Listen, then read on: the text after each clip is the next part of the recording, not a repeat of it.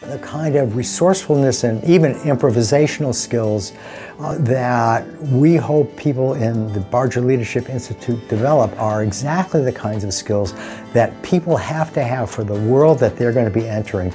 If you want to make change in the world and you see something that you are passionate about and you have to know something about it, you have a shot. I think, you know, certainly when I was going to school, it was more, you know, it was classroom setting. It wasn't so much about the extracurricular or out of classroom experiences. I mean, to the extent you have it today. One of the things that I've always thought was a problem is that while we treat our students really well as long as they're in class and as long as we're working with them, we don't think about what they're going to do next. Mm-hmm. We need, we need some way of creating experiences for our students that really help them not only look forward to what's next in their lives, a big transition time, but also give them some experiences, a toe in the water, a chance to really feel that they've had an experience outside the classroom that makes sense to them. Of course, you can get into things like um, study abroad, and uh, but I think it's it's it's the ability to get inside of an organization.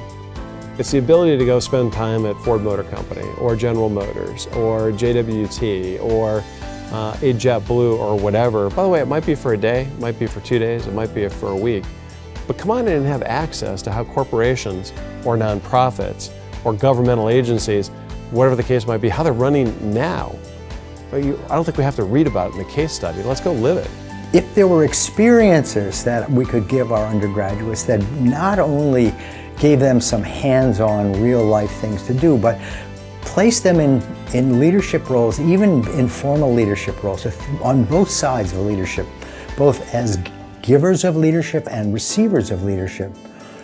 Wouldn't that make some sense as a kind of experience? But I just think the opportunity to talk through this, to have access to it, situational uh, type of settings, that's what the Institute, that's what these centers are really all about because they create some really interesting uh, just uh, settings that don't exist in a syllabus.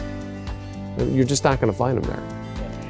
And it's only recently that learning has become more interactive, that it's more cooperative, that now at Michigan almost no undergraduate just sits and takes notes.